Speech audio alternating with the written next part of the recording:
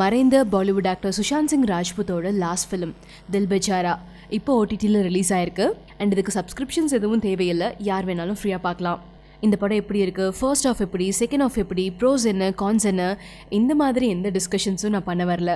இதெல்லாம் தாண்டி சுஷாந்த் நம்மளுக்காக கொடுத்துருக்கிற கடைசி ஃபிலிம் அப்படிங்கும்போது ஸோ அதை பார்க்கும்போது அந்த எக்ஸ்பீரியன்ஸை நான் உங்களோட ஷேர் பண்ணிக்கணும்னு நினைக்கிறேன்.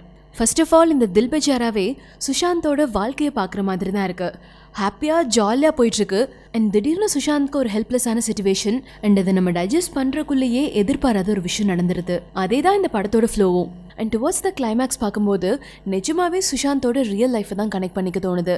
ஸோ கண்டிப்பாக அந்த கிளைமேக்ஸ் பல பேர்த்து ரொம்ப எமோஷனல் ஆக்கியிருக்கோம். கிளைமேக்ஸில் சுஷாந்தோட படத்தை எல்லாரும் சேர்ந்து பார்க்கும்போது உண்மையாக இப்போ இந்த படத்தை பார்க்கும்போது அவங்க எல்லாத்துக்கும் எப்படி இருக்கும்? குறிப்பாக இந்த படத்தோட ஹீரோயின் சஞ்சனாவுக்கு இன்னும் அது எவ்வளோ எமோஷனல் பிரேக் டவுனாக இருக்கும் அப்படின்னு தான் தோணுச்சு. அண்ட் கண்டிப்பாக படத்தோட ஃபர்ஸ்ட் ஆஃப்ல சுஷாந்த் சிங் அவருடைய யதார்த்தமான பர்ஃபார்மன்ஸ்னால நம்மளை சிரிக்க வச்சதா இருக்கட்டும். அண்ட் செகண்ட் ஆஃப்ல அந்த தேட்டர் சீன்லலாம் அவ்வளோ இன்டென்ஸாக நடிச்சிருந்தாரு. மேபி ஓடிடியில் ரிலீஸ் பண்ணுறதுக்காக படத்தை ஷார்ட் அண்ட் பண்ணதுனால சில இடங்கள் அப்ரப்டாக இருக்கலாம். பட் இந்த படம் தமிழ் ஆடியன்ஸ் கூட கனெக்ட் பண்ணிக்க ரொம்ப ஸ்பெஷலான சில விஷயங்கள் இருக்குது அதில் முதல் முக்கியமான விஷயம் சூப்பர் ஸ்டார் சுஷாந்த் இந்த படத்தில் தலைவரோட டைஹார்ட் ஃபேனாக நடிச்சிருக்காரு. கபாலி அண்ட் சிவாஜி படங்களோட ரெஃபரன்ஸ் கூட இருக்கு. இது எல்லாத்துக்கும் மேலே கெஸ்ட் அப்பியரன்ஸில் நடிச்சிருக்கிற சைஃப் அலிகானும் சூப்பர் ஸ்டாரை தலைவர்னு சொல்லி அவரோட அந்த கூல ஸ்டைலை ட்ரை பண்ணுறாரு அதோட நம்ம யூஸ் பண்ணுற தமிழ் வார்த்தை சரி அப்படிங்கிறதையும் படத்தில் சுஷாந்த் யூஸ் பண்ணியிருக்காரு இன்ஃபேக்ட் இது ஹீரோ ஹீரோயின்கான ஒரு ரொமான்டிக் வேர்டாகவும் யூஸ் பண்ணியிருக்காங்க so first of all Sushant அவருக்கு நேர்ந்த விஷயங்கள் இது எல்லாத்தையும் என்னோட மைண்ட்லேருந்து எடுத்துட்டு மற்ற படங்களை பார்க்குற மாதிரி இந்த படத்தை ஃபோக்கஸ் பண்ணி பார்க்கவே கொஞ்சம் டைம் ஆச்சு. அண்ட் படத்தோட அந்த ஃபீலும் அந்த கிளைமேக்ஸும் சுஷாந்தோட வாழ்க்கையோட கனெக்ட் பண்ணிக்கிற மாதிரி இருந்ததுனால நிறைய இடங்களில் சுஷாந்தை மேனியாக பார்க்குறத விட சுஷாந்தா தான் பார்க்க தோணுது.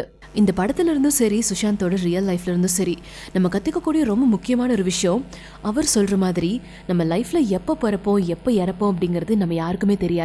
ஸோ வாழ்கிற அந்த வாழ்க்கை மட்டும்தான் நம்மளோட கையில் இருக்கு. அண்ட் இந்த வாழ்க்கை அப்படின்னு நம்ம சொல்றதே இன்னைக்கு இந்த நாள் இந்த நிமிஷம் இந்த நொடி. அதை நம்ம எப்படி ஸ்பெண்ட் பண்றோம்? சந்தோஷமா இருக்கிற நிமிஷத்தை என்ஜாய் பண்றோமா? இல்ல நாளைக்கு என்ன ஆகும் நேத்துக்கு என்னாச்சு அப்படிங்கறத நினைச்சு ஃபீல் பண்ண போறோமா? நம்மளோட லைஃப் லைஃப் அப்படின்னு நம்ம பேசிட்டு இருக்கிறதே இந்த ஒரு நிமிஷத்தை மட்டும்தான் அப்படிங்கறத ரொம்ப ஸ்ட்ராங்கா சுஷாந்த் நம்மளுக்கு சொல்லிட்டு போயிருக்காரு. இது படம் பார்த்த என்னோட பர்சனல் எக்ஸ்பீரியன்ஸ் நீங்கள் தில்பச்சாரா படம் பார்க்கும்போது உங்களோட எக்ஸ்பீரியன்ஸ் என்னவா இருந்துச்சு? அண்ட் நீங்கள் என்னென்ன மாதிரியான விஷயங்கள் கனெக்ட் பண்ணிக்கிட்டீங்க? அண்ட் உங்களோட எமோஷன்ஸ் என்ன அப்படிங்கிறத யூஸ்வலாக கீழே கமெண்ட்டில் வித்யா என் கூட ஷேர் பண்ணுங்க அப்படின்னு சொல்லுவேன்.